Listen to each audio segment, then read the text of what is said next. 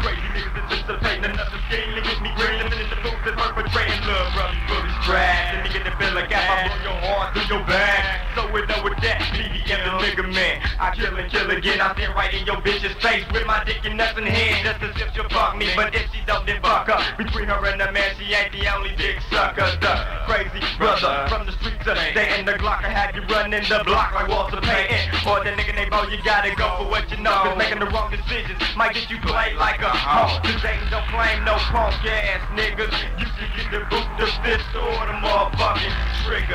And this is like that. I'm getting ignorant on the track like a cat rat that's ass sock. Sickle suck 'em, pick 'em, pluck 'em, buck 'em, 'em, you doubt me. So now you clinch it in you please, please. This shit, I'm coming rough as a dry cut. Scoping punks, busting and smoking jumps like blood. Duh.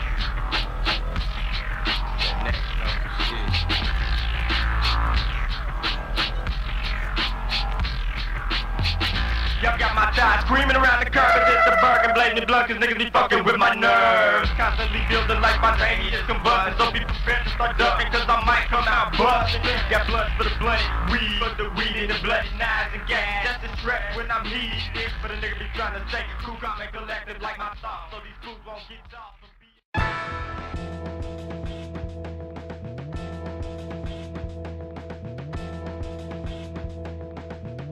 Man, all the violence in Dayton, Ohio. Man, it's crazy right now. It's it's, it's, it's, it's real crazy. Uh, your young your young generation is out of control, but that's because my generation, that was supposed to raise that young generation, ain't raised them right. Cause they was out of control. You know, they called this Generation X, didn't they? Well, now what you gonna call this? I mean, um, man, you can die out here over five dollars. You can die over here over an argument. I was watching on news, Springfield, brother died because the man broke into his car. You know what I'm saying? They got in an argument because the man telling him like, man, you gonna have to respect my space. The dude took him away from his space. And I mean, that's just deep. You know what I'm saying? It's just deep. Little mama walking through the hood, she was going to the store, cut through an alley, and then she gets harassed by two dudes and gets jumped. And seen a pedestrian, you know, we supposed to be pedestrian, we supposed to be city folks. She seen a pedestrian dude told her, get your hands off my car. He didn't stop until he heard the gunshots at the gun, at the next stop sign. I mean, it's just wild out here, man. I mean, Bush in office. I'm gonna blame it on the president. Everybody always say, well, he's just one man, but I'm gonna blame it on the president because the president is who puts all the all the people in the situations that they need to be in. You put, you know what I'm saying? You, you the president, you got, you know what I'm saying? You got to look out for the economics of the blacks. You got to look out for the economics of the white. You got to look out for the economics of the Mexicans. You know what I'm saying? And uh, I mean, not saying that that's too much of a responsibility, but apparently somebody up in higher office ain't doing what they're supposed to do. I mean, have you seen how Dayton is now? West side of Dayton ain't the west side of Dayton no more. If you ever paid any attention, Trotwood is the west side of Dayton now. Basically, um, they didn't. They're trying to clean up all of Salem, all of Five Oaks. They want all of you. You didn't put us in there and then put them bars and fences up and them cages up, and now you want us out, and you're moving us out, and you're tearing down the projects. And I mean, not that the projects was anything beautiful, but when you built the projects, you never you never kept them up, you never improved them. Well, you want to blame black people. Well, I mean, it's just the same way with, with the white people, you know what I'm saying? When they had the white people to be, uh, as they call them, trailer park, you know what I'm saying? You don't, you, you got to take care of your business, man. You got to be responsible. And I feel like that the higher powers to be in office is not responsible. They look at us as a threat. They look at us sometimes they get mad because they sitting and, and, and rap is becoming what they call out of control. Rap is becoming the main source of income for a black man that's out here hustling, that's trying to find a way out. And then when you find a way out, your so-called real friends is supposed to be your friends or whatever. Once you find a way out, then they mad at you. Is that fair? Is that fair to be mad because my brother made it? And I ain't saying I'm mad because you know he didn't put a hand back, but yeah, it's a lot of brothers out here that make it that don't put a hand back to the hood. I can respect LeBron James. LeBron James didn't come out of Dayton, he came out of Akron, but he put his hand in the hood. You know what I'm saying? He out passing out turkeys. You know what I'm saying? Katrina happened. You know what I'm saying? He's all part of that movement. That's what that's what I'm talking about, man. That's that's a young black man with power, and I'm glad that he got some good people behind him to show him what to do with that power. Because when we out here in the hood and we get power, first thing we go get us some 20s, some dro, some bling bling, and we ballin'. And that ain't life, man. You know what happened to the beginning morals of life. That's why I like Tupac when Tupac was alive. Tupac, you know what I'm saying? He may have been thug life or marauder, but that was because from the beginning he had a he had a message, man and he had to transform his message to Thug Life just so you understand him, just so that you buy the album, just so that he can become popular enough for you to hear him. And I mean, and it's kind of messed up, but a lot of the kids today, they hear his music and they still take it the wrong way. You know what I'm saying? They don't understand. They don't know what a Tupac was. They don't know about Tupac being in the Black Panther Party. They don't know about Tupac you know what I'm saying, standing up for what he believed in. You know what I'm saying? They don't, they don't remember Dear Mama. You got kids out here don't even know what Dear Mama is, don't remember Dear Mama or, or, or, Brenda had a baby. You know what I'm saying? Or don't even understand what the what the um the one song was he had about the police. You know, all that stuff, man, is important. That we need to go back and reanalyze. If you go back and reanalyze the man, you will see that he was just trying to reach out for his people. They wasn't listening to him with Tupac looks now, but they listened to him when he got to All Eyez on Me. You know, after he went to jail. You know, they, they, they look at all his trials and tribulations as, as, as, that's what I got to do, you know what I'm saying, to be a rapper. That ain't what you got to do to be a rapper. That was a black man going through the struggle, man. We, and there's plenty more stories and tales of us out here going through the struggle, man. We just, we need some real leaders. And I ain't talking about Jesse Jackson. You know, you know what I'm saying? I ain't, I ain't knocking Jesse, but we need some real leaders out here, man. We need somebody that if you're gonna spit that thug thug life or whatever, if you're gonna if you're gonna run that thug life, run it responsible. Okay, youth violence. I believe youth violence is out of control today. Um, you have in Charlotte too many kids that are not being properly properly disciplined, educated, and trained to do the things that they need to be doing um, and taking care of business. Uh, there's too many excuses being made for the youth of today. Uh, and if something's not done, um, it's a scary thought about what the future holds for us. When you turn around and look at our youth for, youth today, there's not a lot of kids graduating out of high school anymore. Uh, there's probably more kids dropping out than there is graduating. Um, there are not a lot of kids uh, working. Um, you have more kids out there selling and using drugs.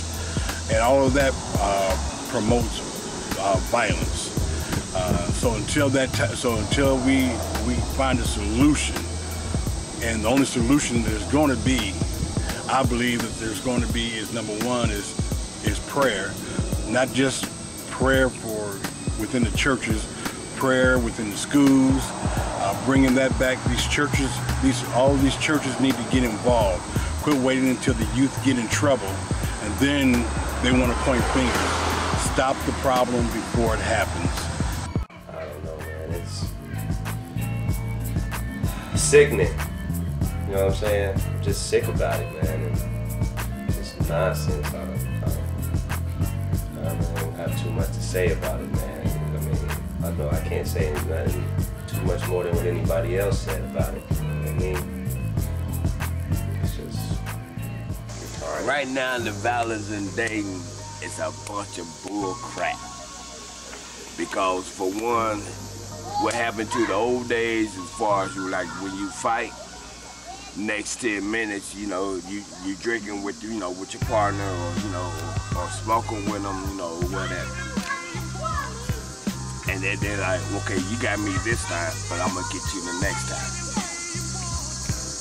I mean that, that that's all violence is um i feel that the violence in Dayton is like it is because society has took a lot of things, you know, laws have took a lot of things from kids to where they have no choice but to act out.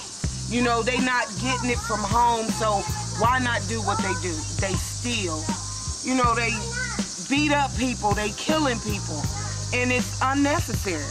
You know, stuff like that is ridiculous because the child ain't getting what they need at home, at school. They took prayer out of school. You know, the other thing is like what she was saying. When, they, when, when they took out prayer out of school, and then they took paddlings out, you know, and everything else, and then the way, you know, with your neighbor, you can see you, you know, down the street two blocks over or whatever, and as far as them, you know, stopping right then and there and whooping your butt. Once they took all that out and started talking about all the child abuse and everything else, that's what started all that stuff. No different where you was at or anything else Right. though either. Right. You know, Our neighbors used to beat our butts if we was in the wrong, you know, and we live, you know. So where all this child abuse stuff come from, I don't understand it. So we not supposed, when our child is robbing folks, we not supposed to beat that butt. If the child ain't hurt, It don't make no difference if they hurt or not. If they going I out mean, to rob somebody, As long as else, I'm not trying to break a arm, break a leg, I feel that I have that right to whoop my child when necessary. No, I don't beat my child. I'm not throwing my kids into walls and stuff like some people doing. You can't stereotype everybody. You know, you can't say because this person did this to this child that you know, you gonna do it too. So you should be able to whoop your child and these kids not getting something at home. That's the reason why they're doing what they're doing. And it's not only kids, it's older people too. And the, it's just ridiculous. It really is. It's horrible. Um, from what I've heard, Dayton has a very high crime rate, and um, half the time I'm scared to go out of my house. I'm actually trying to get out of Dayton because of the crime rate. Since I've lived here, um, in the three years I've lived here, I've had my car stolen twice. Um, my garage was broke into. They stole my car. I had one smashed by a drunk driver. Um, it just never stops, and a lot of the crime is black on black crime. Um, and I just don't understand it. I don't understand why people waste their lives away shooting each other and, um, you know, out there killing each other. It's crazy. My Life's too short for grandmother, grandfather, and uncle were all in the home. And this is how we learn about different stuff. But you don't see that now where other families, you, you know, if it ain't no male there, somebody coming in, stepping in, and trying to teach you and guide you. And then there's not enough things for these young kids to do. You don't have any more baseball fields here in Dayton, so that eliminates that. You don't have no wood shop in school, so that eliminates that. They take out all the good things, these things here that would train this child to do something when they grow up or got big, but it doesn't have anything, nothing at all. The wood shop. What really do the young black males have to do? Really, when you think about it and you look around, all they want is what? They want what they see somebody else got. They get this. This fixation in their head. I can make this. This money here, they want that fast dime. They're chasing it instead of the slow nickel. Getting out there working, striving. Nobody wants to work at McDonald's. That's an honest job. But they don't want that. They too good for that. They don't want Burger King. They won't want anything like that. But I don't understand that either because if that is going to help you and it's honest and you can say what is wrong with that. Why are they always looking for something that they can't have? It makes no sense. I think it's horrible. Bad, very bad. What do you think is causing all the violence? Well, I think uh, the dope and kids that don't have uh, both parents and stuff like that. And most of the women raising raising the kids and stuff like, like that. Just don't have a man in the house. That's my thing.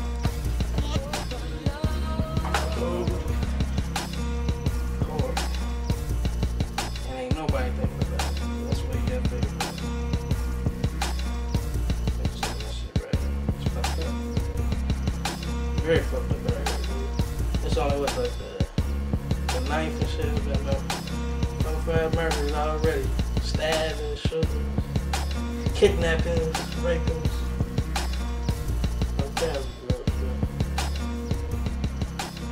It's fucked up. I'll just say that. I think it's um, it's uh, it's terrible, I and uh, I don't see any chance of for it getting better unless we look at uh, where it starts at, and that's the home and the family. And uh, these children, they don't have no role models. The role models they do have, it's it's the it's the gangsters.